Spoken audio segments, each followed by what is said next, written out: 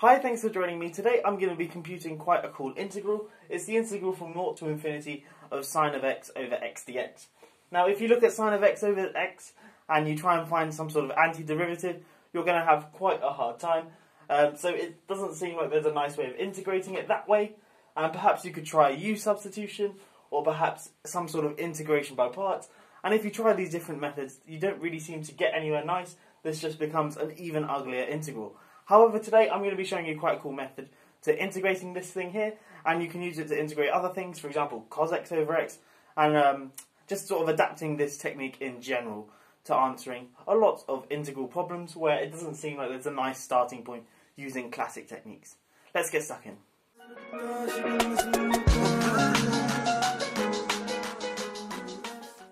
Okay, so firstly, I guess I should point out that this function here is technically not Lebesgue integrable over naught infinity, and that's because if you look at the absolute value of this, if you put absolute value things there, so if I look at this integral instead, uh, this thing here diverges, and thus technically it's not integrable. However, what I'm technically doing is I'm just working out the limit as n goes to infinity of the integral from naught to n of this thing here. But uh, for today I won't get too technical. I'm just going to leave it as so. And you can just trust me that the things I'm doing are indeed valid. Okay, so what I'm actually going to do is look at a more general function, i of t. And that's going to be the integral from 0 to infinity of sine of x over x times e to the minus tx dx. Okay, so what I have here is i of 0, because obviously if I put t equals 0 into this thing here, this thing here just becomes 1, and I'm left with the integral from 0 to infinity of sine of x over x dx. So I want to know what i naught is. Okay, what I'm actually going to do though is differentiate i. So on the left hand side I just get i prime of t, so I'm differentiating both sides with respect to t. And on the right hand side I get d dt of this integral.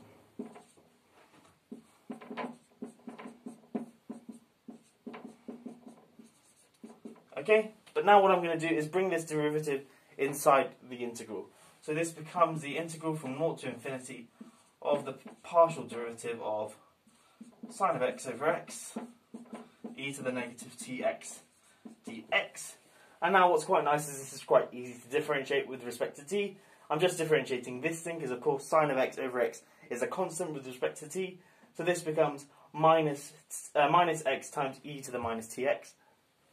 And of course the x will cancel with this x in the denominator. So we get this thing here, let me write it in here.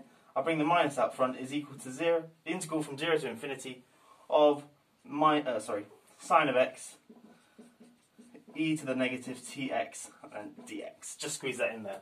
Okay, so all I've done is differentiated e to the minus tx with respect to t. That takes a minus x out, which will cancel uh, with the x and of course leave a minus 1 out front. And then I'm left with the integral from 0 to infinity of sine of x e to the minus tx dx. Now what I'm going to do is compute this integral, and thus I'll know what i prime of t is. Then I can integrate up to give me i of t plus some constant. And remember, I want to know what i is, but I showed that that was i of naught. So then I'll plug in what t, uh, when t equals naught, and then I'll be able to evaluate this integral here. Okay, so I've just showed that i prime of t is this integral here, minus the integral from naught to infinity of sine x times e to the negative tx dx. So of course I want to work out what this integral is, so I've written it down here as j. Now there are a few different ways you can do this, um, perhaps by integration by parts, but my sort of favourite way is treating sine of x as the imaginary part of e to the ix, and also what pops out of this for free is the integral of cos x times e to the negative tx dx. Anyway, um, what I'm going to do is write sine of x as the real part, sorry, the imaginary part of e to the ix times e to the negative tx dx. Now, because everything here is real, I'm integrating over a, a, real domain. This thing here is real. I can just take this imaginary part right outside the integral. So this is the imaginary part of the integral from 0 to infinity of e to the ix times e to the negative tx dx. Okay, let's combine these two uh, e's together. So this is the imaginary part of the integral from 0 to infinity of e to the i minus t of x dx. Okay, let's evaluate this thing here. We can work out the antiderivative. That's just going to be 1 over i minus t times e to the i minus tx. And that goes from infinity to 0. And of course, I've still got my imaginary part there.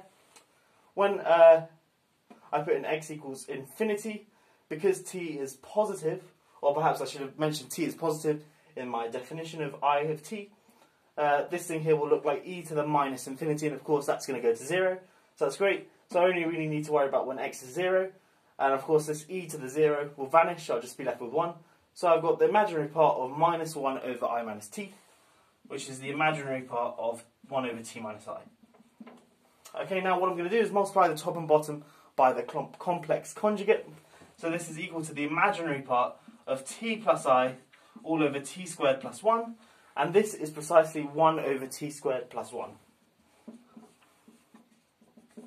Okay, so I've shown that j, this integral here, is just 1 over t squared plus 1. And as I said, you could evaluate this integral in a couple of different ways, uh, but this one here is my favourite. And of course, if we wanted to do um, the integral from 0 to infinity of cos x times e to the negative tx, we essentially just swap all the imaginaries for reals, because remember the real part of e to the ix is cos of x, so we just get t over t squared plus 1. Anyway, now I have what j is, I can work out what i prime of t is, it's simply minus 1 of this, and then I can work out what i of t is. Okay, so let me do that. Okay, so I just showed that i prime of t is minus 1 over t squared plus 1. Now we can just integrate this to give us that i of t is minus 1 inverse tangent of t. This is a very sort of standard integral. Oh, I'm sorry, and plus a constant. But notice that how we define i of t, I've rubbed it off. Let me write it down again. We had it to be the integral from 0 to infinity of sine of x over x e to the negative tx dx. Now, when we put in t goes to infinity, this thing here goes to 0, and of course this thing here is bounded. So this whole input goes to 0, so I'm just integrating 0, which is 0. So what I can do is write i of infinity equals 0, but of course when I put infinity into this thing here, inverse tangent of infinity is pi over 2. So then that means that my constant is pi over 2, because i of infinity is 0, but this is also minus pi over 2 plus this constant, and that of course means that the constant is pi over 2. So then that I can conclude that i of t is minus the inverse tangent of t plus pi over 2. And now remember, I wanted to know what I naught was, because when I put 0 into this thing here, I get the integral from naught to infinity of sine of x over x dx, which is precisely my i, the thing I'm trying to work out. So I just need to put 0 into this formula here. So I can conclude that i, which is equal to i naught, is precisely minus the inverse tangent of 0 plus pi over 2. But of course the inverse tangent of 0 is just 0, so this thing here is precisely pi over 2.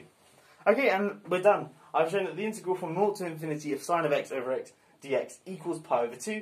And I guess the trick to it was starting off with um, i of t, then differentiating it, and then we're getting a sort of a nicer integral. And then it turns out to be essentially um, a differential equation in terms of i prime of t. We got i prime of t equals minus 1 over 1 plus t squared. We can work out what i of t is up, up to a constant, and then plug in t equals infinity to conclude that that constant must be pi over 2, and then plug in 0 to give us the integral that we want equals pi over 2. I hope you have enjoyed this video. If you are new here, please do consider subscribing. I make lots of fun maths videos like this um, to keep you entertained if you enjoy maths. Anyway, I will catch you in the next one. Have a great day.